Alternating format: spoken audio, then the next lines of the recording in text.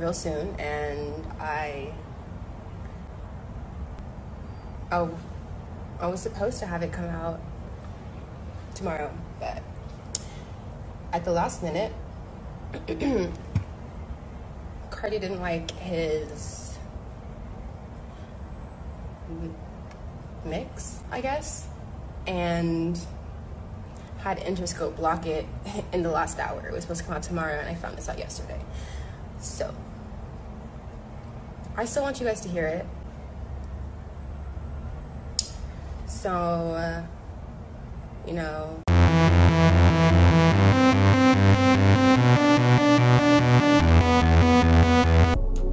Hey man, real stay safe shit. You already know what's going on. So we gotta talk about how Playboi Carti, the vamp motherfucking king himself, finesse this other artist is kind of popping off right now named Abra, who just came out with this song called Unlock It, and the whole story of all that shit. But before we do, I'm gonna need y'all to like, comment, subscribe, and let's run this shit up, man. So Man, this is a very interesting story, and it's some shit that will totally not surprise you, man. Like, it's I don't even know how these niggas get to this point and how these labels be investing in people. But let's sort of get into this whole situation behind the track, uh, Unlock It, with Abra featuring Playboi Carti. So, this song was like super popular online. I think it had a moment in TikTok and shit. So, it's not like the same type of fan base of Carti stands and shit. But like basically this artist Abra, in case niggas didn't even really know, she was also signed to um, Father's label in Atlanta called Awful Music. And that is actually how Playboi Carti was kind of discovered and got to the point where he is today.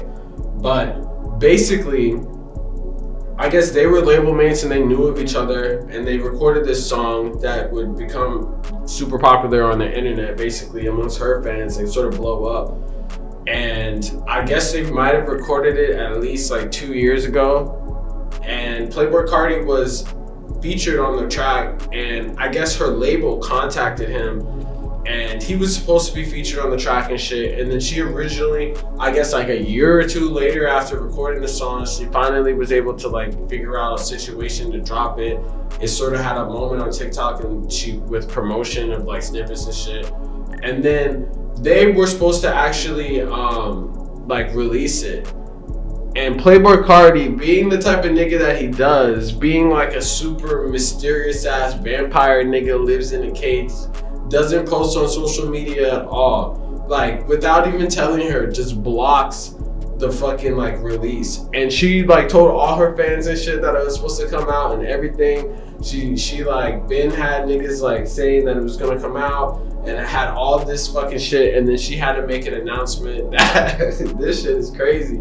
She had to make an announcement saying that the song is no longer coming out uh, at the scheduled time at least because Playboi Carti for some reason even though he had already gotten paid I guess for the song like he blocked the release with Interscope Records because I guess he didn't like the mix or anything.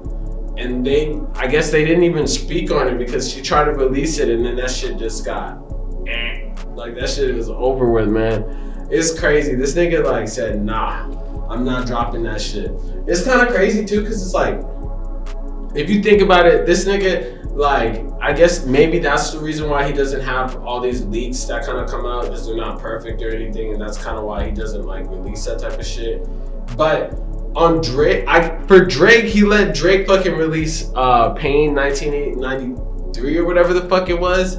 That song with Drake, and that mix was terrible. that shit was garbage. That shit sounded like it was recorded in a fucking plastic bag. Like no cap. So I don't even know. I think this nigga just didn't want to drop the song with her even though he got paid. Or or this nigga was trying to like use this for promotion or some shit. But fast forward, so I guess they figure out the mixing situation and he finally agrees to it and then she just releases it. And then when they release it, like people fuck with it and shit. It's definitely a vibe for a while. Like it definitely does well. I guess you could kind of see what was wrong with Playboi Carti's like mix. I guess. I mean, like it wasn't even that fucked up. It was just different than how it usually is, but it wasn't different in a bad way. This nigga actually somewhat tried on this verse. but she's supposed to drop the music video. And then the music video, it ends up being super trippy and shit. Like hella people fuck with it. It's super popular right now. So she was supposed to drop this music video and he was supposed to be in it. She actually paid him to be in the video. Like she has sent the payment and everything to him or his label or however the fuck they do it, his management or whatever. And this nigga agrees to it. And then when it's time for him to actually like I guess he was supposed to be in the video, but then he has to like sign off on whether or not he like likes his appearance in the video. And she is like, I guess, supposed to drop the video at a certain time. And this nigga just never hits her up, just ghosts her, took the bag. I don't even, I don't, I'm not sure if he showed up or not. He either showed up and got paid and then didn't fucking, um, like, mark off that he liked it or not. Or he just didn't show up and still got paid. Either either way, like he just ghosted it, but he still got paid. And this nigga ran off with the bag. So then she was supposed to release the video without him. And I mean, it's definitely underwhelming. Like, it's probably not gonna do as well because it's like his Carti fan base. Anytime they see this nigga, it's like super exclusive. But maybe this is the way that he even like is able to do this shit. You know, like it's kind of smart on his end. But if he was like, I have a theory that he might have just did this shit for promotion for the song because the song became super popular because this nigga was just being a quote unquote narcissist, not giving a fuck about other people. Like the controversy itself kind of like made it kind of crazy, you know? So that could have been like one of the main things that could have promoted it to the point. So maybe this nigga did her a favor but this nigga definitely ran off with the bag regardless. But it's not really a surprise. I mean, like you see a lot of the people that this nigga works with. He's barely in any. He barely does any features. He's barely in any fucking type of situation. Like if he is on a fucking song, I can name. That's the third fucking. This nigga's never in any videos. I haven't seen this nigga featured on a song in a video since his song Fetti with Maxo Kream and Dash. That was the last time this nigga really was in a video on a feature, I'm pretty sure.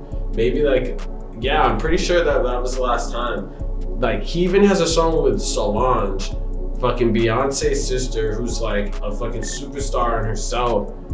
And like, this nigga said, nah, I'm not showing up. And he's not in that video either. He has a song with fucking Tyler. He's not in that video either. so it's like, man, this nigga just, I don't know, he always has a thing where he just be ghosting and shit. And he doesn't really show up for any type of features.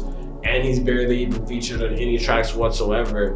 Not since like in the later half of the 20, like he hasn't been in a track since like for damn near almost 10 years. A video, I would say 20, 2015. So what, like seven years is like the last time that we've seen this nigga in a fucking feature video. But hey, I mean, that's part of his mysterious, mysterious ass shit. You know, he's like a fucking vampire. He be coming out only occasions. On, on once in a blue moon, you'll see a fucking Carti roaming the streets and shit, fully like blacked out and shit. But hey, you already know what the fuck is good. Real stay safe shit, man. Uh, like, comment, subscribe. It's an interesting tale. Let me know if fucking Carti was in the wrong for giving this fucking artist a feature and not fucking like even showing up. Or maybe it was just trash. Check out the song and let me know your opinion. Real Stay Station, you already know what the fuck going on. Like, comment, subscribe. Let's go. Peace.